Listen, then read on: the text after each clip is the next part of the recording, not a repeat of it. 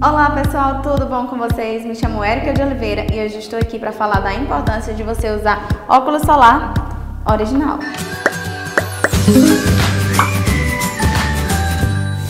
Estilo e sofisticação muitas vezes saem na frente e óculos não certificados sem qualquer tipo de proteção podem ser comprados facilmente. Sem a devida proteção, a lente dos seus óculos não filtra os raios ultravioletas, que podem causar lesões graves nos seus olhos. É indispensável usar óculos de sol com filtro UV. Os raios ultravioleta penetram profundamente no olho, podendo causar lesões maculares e do cristalino.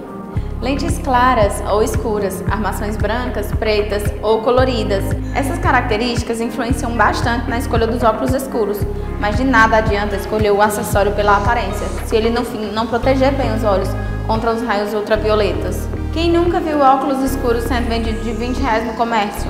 Cuidado, hein, pessoal? O barato pode sair muito caro. E nesse mês de julho, a qualidade visual faz 11 anos.